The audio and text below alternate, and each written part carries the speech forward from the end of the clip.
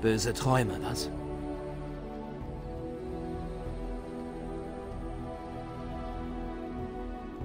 Ist es ja auch, irgendwie.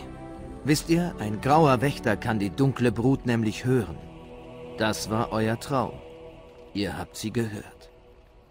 Der Erzdämon spricht mit der Horde. Und das spüren wir auch.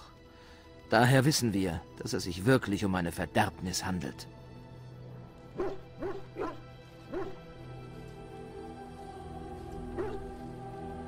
Ich weiß nicht, ob er wirklich ein Drache ist. Zumindest sieht er so aus. Aber ja, das ist der Erzdämon. Es dauert eine Weile, aber irgendwann könnt ihr sie verdrängen. Einige der älteren Grauen Wächter meinten, sie würden zum Teil sogar verstehen, was der Erzdämon sagt. Ich kann das nicht. Als ich hörte, wie ihr euch herumwälzt, wollte ich euch darüber informieren. Für mich war es anfangs auch furchterregend.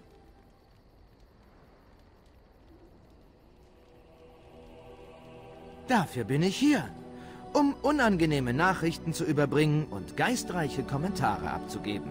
Wo ihr schon mal wach seid, wollen wir da nicht gleich aufbrechen?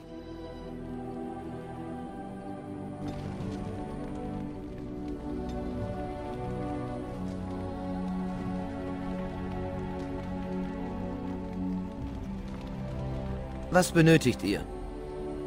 Nur zu?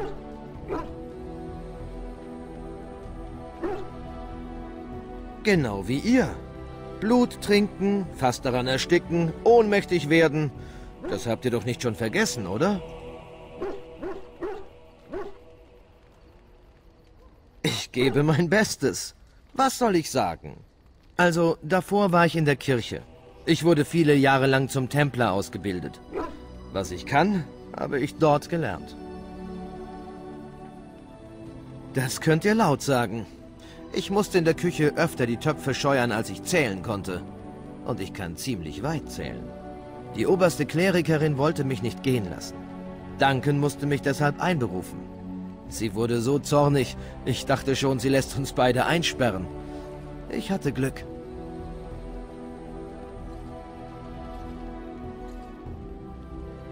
Das habe ich mich auch gefragt. Sie hatte nicht gerade eine hohe Meinung von mir. Ich glaube, sie wollte den Grauen Wächtern prinzipiell nichts geben. Die Kirche hat nicht viel verloren. Und ich bekämpfe ohnehin lieber selbst die Verderbnis, als irgendwo in einem Tempel herumzusitzen. Ich werde Duncan immer dafür dankbar sein, dass er mich rekrutiert hat. Ohne ihn wäre ich nie. Ich hätte nie.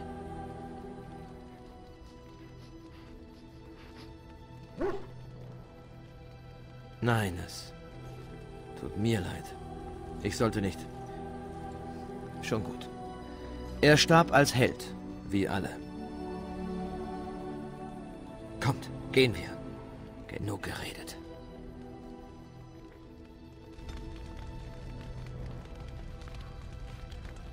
Ja? Nun, ich bin hier.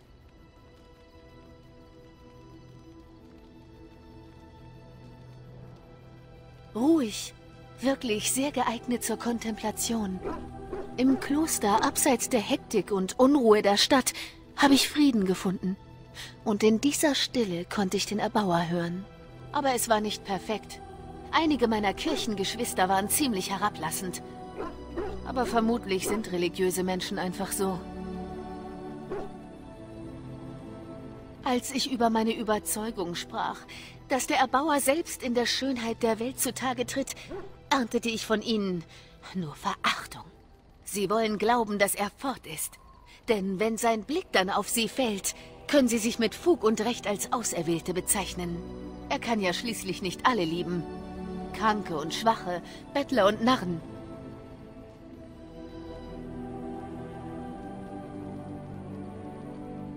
Was konnte ich sagen?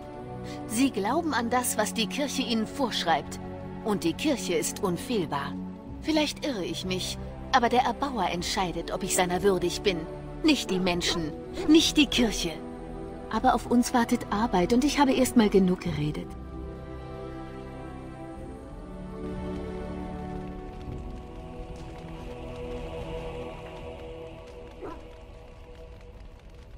Warum halten wir an?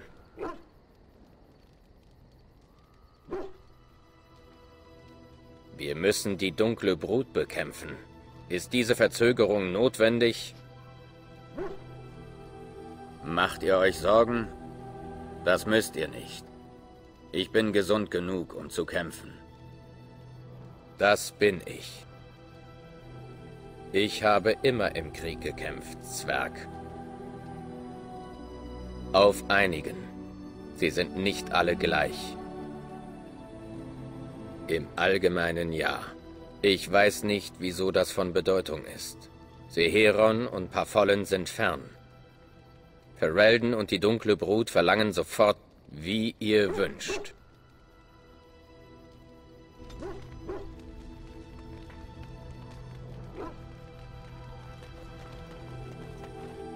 Ah, du mieses kleines...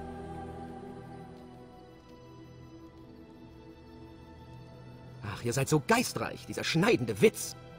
Euer haariger Freund hier hat es mir übel genommen, dass ich seinem Fressen zu nahe gekommen bin. Er hat nach mir geschnappt. Seht nur.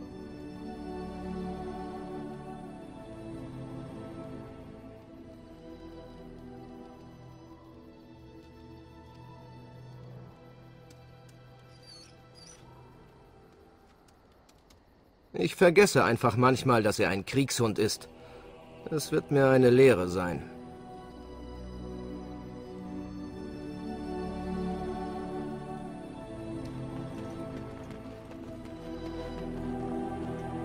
Ihr seid eine schwer zu findende Frau.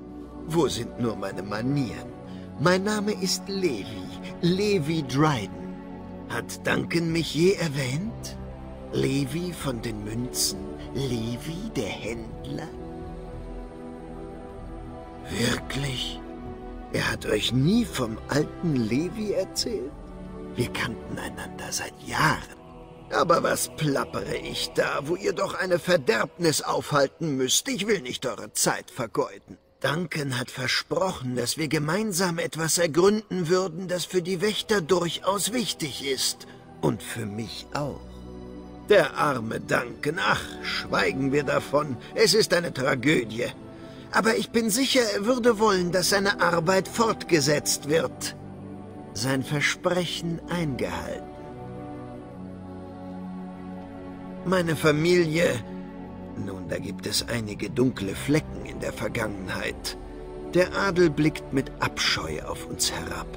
Meine Ur-Urgroßmutter Sophia Dryden war die letzte Kommandantin der Wächter von Ferelden, damals als die Wächter als Schmarotzer galten.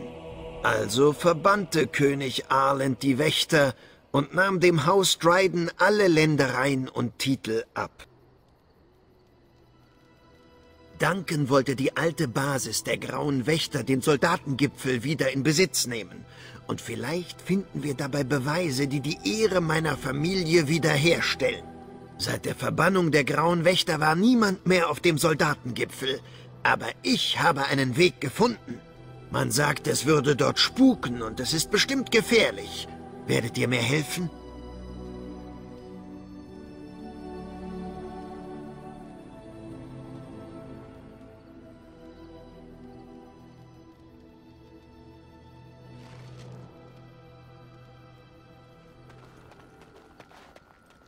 Ah, schön euch zu sehen, meine Retterin in der Not.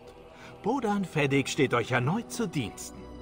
Ich habe euer Lager gesehen und mich an euer freundliches Angebot bei unserer letzten Begegnung erinnert. Und gibt es für einen Händler und seinen Sohn einen sichereren Ort zum Schlafen? Ich denke nicht. Ich bin natürlich bereit, euch für die Unannehmlichkeiten unserer Anwesenheit einen Rabatt einzuräumen. Wie klingt das? Gut? Ja?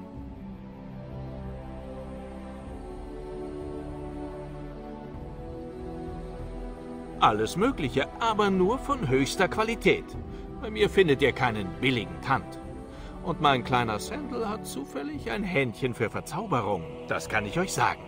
Das macht uns leider auch zum Ziel für Banditen und ähnliches Gesindel. Wenn es noch jemanden gäbe, den man als Wache anheuern könnte, hätte ich es schon lange getan. Großartig! Bedank dich bei der netten Herren, Junge. Danke, nette Herren. Seid versichert, dass wir euch und eure Gefährten nicht belästigen werden. Sprecht einfach mit meinem Jungen, wenn ihr Verzauberungen braucht. Und wendet euch ansonsten an mich.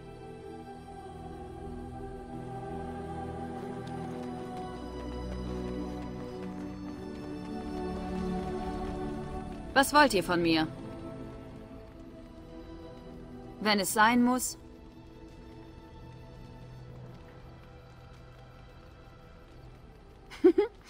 Nun, kommt ganz drauf an.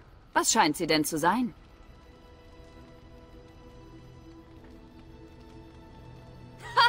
Dasselbe denke ich auch manchmal. Erzählt mir, was ihr von der Geschichte wisst, die die Chasent noch heute von meiner Mutter erzählen, um Furcht und Gehorsam einzubläuen.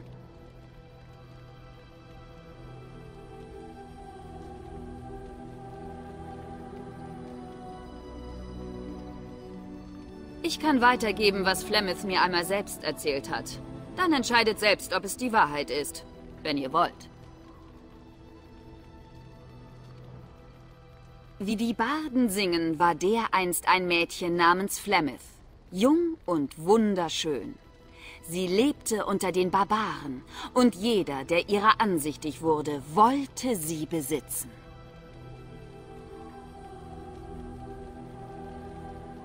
Es heißt, Flemeth habe sich in den Barden Osen verliebt und sei aus der Feste ihres Gatten des gefürchteten Lord Konobar geflohen, der daraufhin Rache für ihre Untreue geschworen habe. Meine Mutter behauptet, in Wahrheit sei Osen ihr Gatte gewesen und Konobar der neidische Lord, der sie aus der Ferne beobachtete. Lord Konobar bot Osen Reichtum und Macht im Austausch für seine reizende Gattin an. Und Osen schlug ein.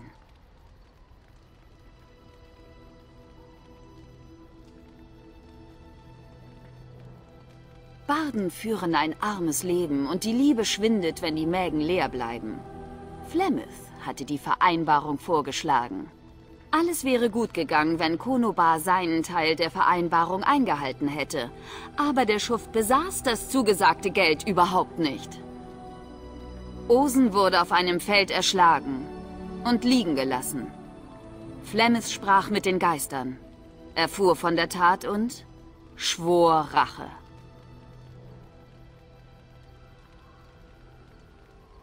Darum ging es nicht. Konobar hatte keine Ehre. Darum wollte sie ihn nicht. Flemeth bat die Geister, ihr zu helfen, und die Geister richteten Konobar. Der Dämon aus der Legende kommt erst später. Lord Konobars Verbündete waren nun hinter Flemeth her und verfolgten sie in die Wildnis, wo sie sich versteckte. Dort traf sie auf den Dämon und er machte sie stark. Die Legende spricht von dem großen Helden Cormac, der Flemeth und ihre gewaltige Armee besiegte, als sie Jahrhunderte später in die Ebenen einfiel. Alles Lügen.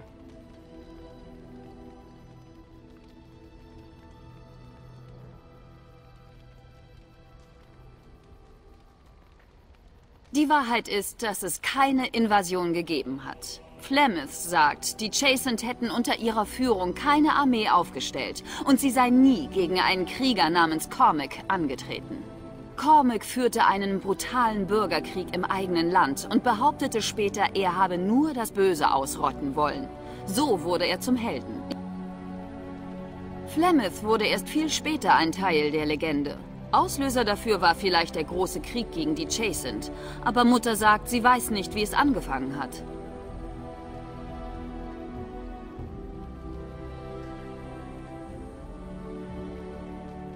Der Dämon in ihr hat sie verwandelt in etwas anderes. Manche würden sagen, eine Abscheulichkeit. Ich kenne mich da nicht aus. Ich weiß nur, dass meine Mutter klug ist. Und sie ist ebenso ein Teil der Wildnis, wie die Wildnis ein Teil von ihr ist. Aber sie ist nicht unsterblich. Sie blutet. Eine Klinge im Herzen tötet sie genauso wie jeden anderen, wenn ein entsprechender Streich denn gelänge.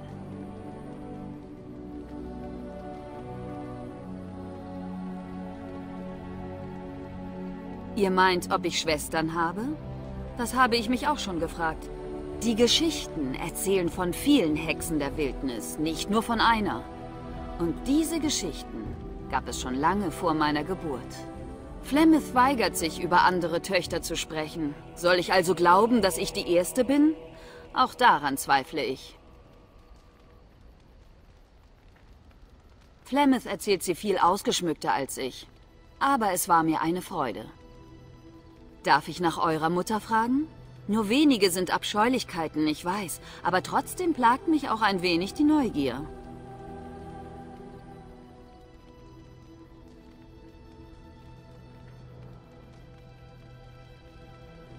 Ah, mein Beileid, wie wenig es euch auch bedeuten mag. Sicher sehr wenig, vermute ich. Wie auch immer, gehen wir weiter.